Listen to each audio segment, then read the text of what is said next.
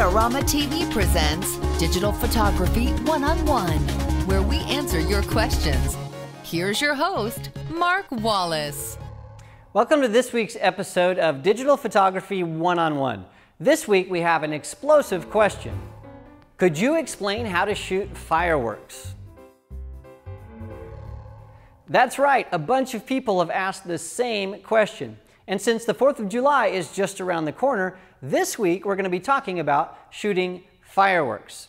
Well, fortunately, shooting fireworks is pretty simple if you know the basics. So this week I'm going to be giving you eight things you absolutely need to know to get perfect fireworks photos. Number one, use a tripod.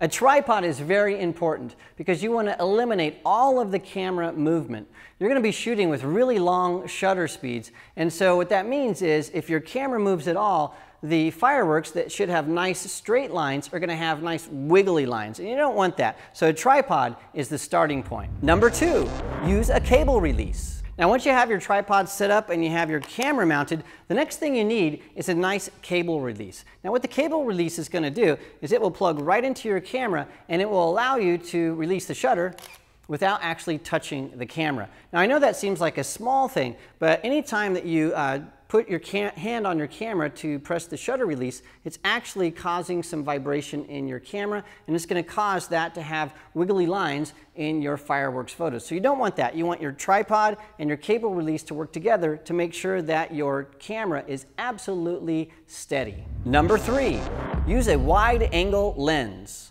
This lens is a 16 to 35 millimeter lens. It's a really wide angle lens. And I suggest that you start using a wide angle lens when you're shooting fireworks. Now the reason for that is at the beginning you don't, you're not going to be really sure how to frame your photo and so you'll stand a much better chance of getting those fireworks exploding in the sky if you can see more of the sky and a wide angle lens will allow you to do that. Now once you see some of those fireworks going off and you uh, get your uh, framing sort of tuned in. The nice thing is you can also include other elements in your photo, like these pictures where we have the lake and some of the trees and stuff, and we get a nice reflection of the fireworks on the lake. So a wide angle lens is going to allow you to get more information into your camera. And so that's where I suggest that you start. Number four, focus just shy of infinity. Now when you're shooting at night, your autofocus is just not going to work. So you need to make sure that you have your lens on manual focus. And to make sure everything is uh, really nice, sharp, and in focus, just focus your lens all the way to infinity and then come just shy of that. So go all the way to infinity and then just back off.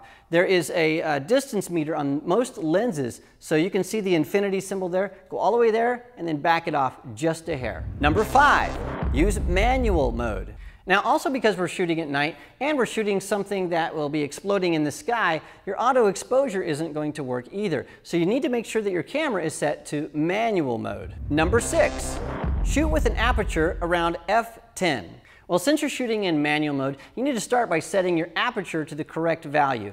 Now that's very subjective because the fireworks will be brighter or less bright depending on how close or far away you are and the size of the fireworks. So a big Super State Fair fireworks session is going to be a little bit brighter than something you might see in your backyard. So I suggest that you start with an aperture value around f10.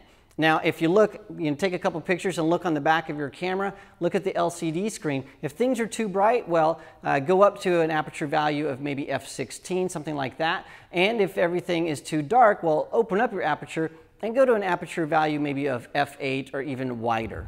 Number seven, use a slow shutter speed. Now, since you're shooting in manual mode, you'll also need to set your shutter speed. Now, I suggest that you use a very long shutter speed, maybe something between three and six seconds. Now, the reason for that is you want your uh, shutter to open when the fireworks start to explode, and then it needs to stay open as long as those fireworks are trailing in the sky, so you get that really nice big full look that we all love.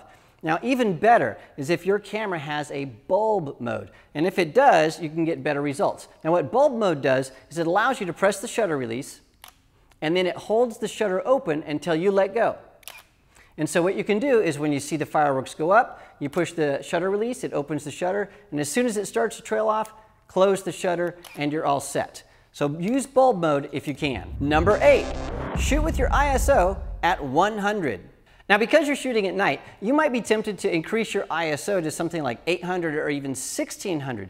Well, don't do that. You need to keep your ISO as low as possible. So try to shoot at an ISO of 100 or maybe 200. And the reason for that is those fireworks are really bright, and you want to get those nice exposed, but you want everything else to remain uh, dark. And so shoot at ISO 100. That's going to make sure that your exposure is right, and it's also going to make sure that you don't have any noise in your image. Well, there you have it. Those are eight things that you can do to make sure you get great fireworks photos. Now, a special thanks goes out to Deborah Ward. She's a former student of mine, and she provided these terrific fireworks pictures for this week's episode. Now, remember, if you have a question about photography or photography related gear, you can send those to me at askmark at adorama.com, and we might use your question in an upcoming episode.